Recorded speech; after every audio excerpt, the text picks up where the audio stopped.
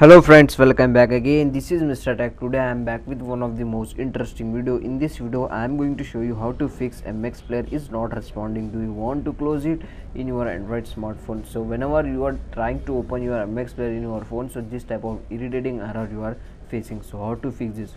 For this first of all restart your phone and after restarting try to open your mx player once again like this so till now you are facing same type of error. Follow second step. Till now you have not updated your mx player from your google play store.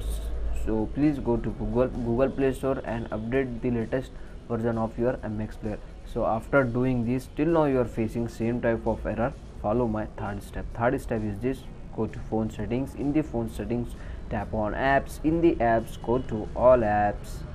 And here find out mx player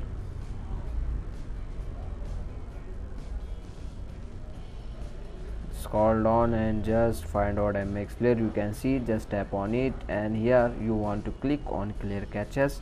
And if you if you are mx player application on uh, you sd card so just move to your internal storage. If your uh, mx player is on internal storage so just please move to your sd card. So do this step. So after doing click on clear data so after doing this restart your device once again.